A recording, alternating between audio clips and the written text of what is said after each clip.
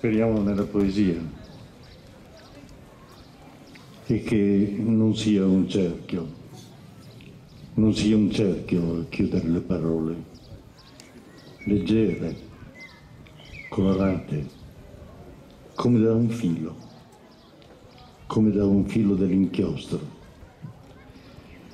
Ci pare quasi forma di un'ombra caduta dalla mano non farne altro, non farne altro che la memoria di un orlo in cima del calamaio,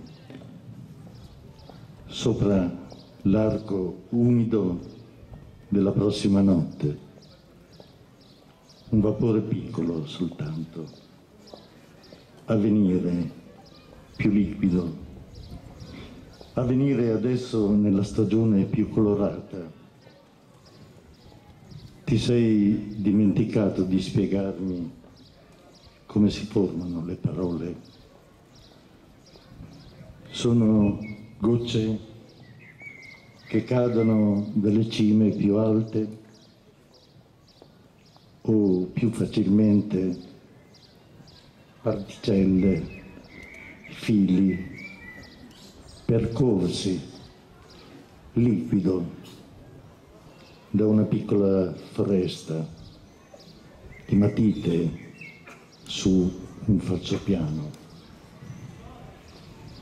Sono un giro di legni secchi dentro una baita, affollata di erbe ancora più secche.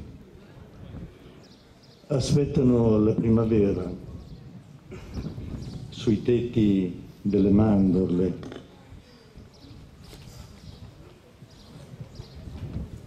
Profumi rimboccati dentro camini neri, incrostati di emozioni andate a fuoco, cerchi di fumo, segnali ancora vivi nell'aria, non hanno più la forma non hanno più la forma che ti avevo dato.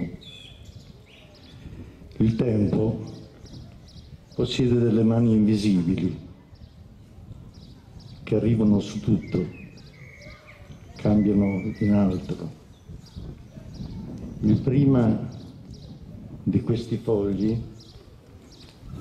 adesso il dopo, schegge macinate arrotondate dall'esercizio, in molti passaggi obbligati, allenamento ostinato, continuo, attraversato da una passione, controllata da una sedia, incastrata sopra un diesel stanco.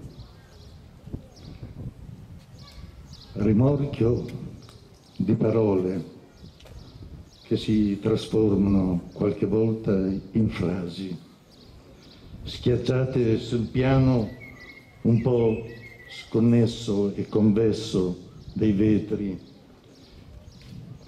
viaggiano senza destino, trascurate dalla velocità che le incolla al parabrezza insieme a piccoli animali accecati dai fari, cancellate da un tergicristallo che scatta, intermittente, come la prima pioggia. Striscia, allora una parentesi di gocce, semicerchi appena appannati su questi segni che circolano circolari, una circolazione in piccoli giri. Basta.